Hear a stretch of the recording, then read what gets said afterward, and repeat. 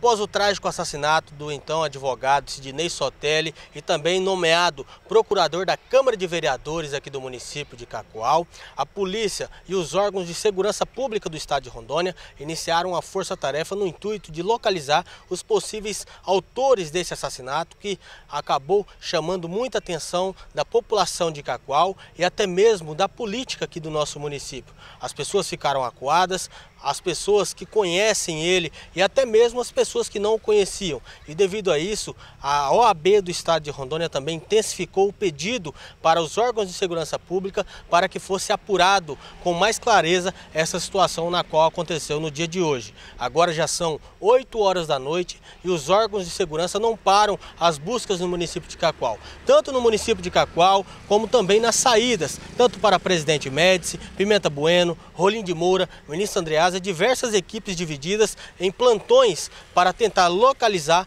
esses possíveis assassinos, que inclusive, segundo as informações que chegaram até nossa equipe, é que esses é, autores desse crime não são aqui do município de Cacoal, possivelmente da capital Porto Velho, e são de extrema periculosidade. E devido a isso, as intensificações nos trabalhos policiais têm sido arduamente realizados aqui na nossa região. Então, para isso, a polícia também pede para quem tiver informações sobre o paradeiro desses possíveis assassinos e até mesmo é, informações que possam levar até eles, que entre em contato o mais rápido possível com os policiais através do telefone via 190. Não precisa se identificar. O importante é ter os relatos que possam levar à prisão e à elucidação desse caso que chocou a população de Cacoal e também de Ministra Andreasa, na qual o advogado Sidney Sotelli residia ultimamente. Ele saiu da prisão há poucos dias, na qual ele foi preso na operação Feudo realizado pela Polícia Federal por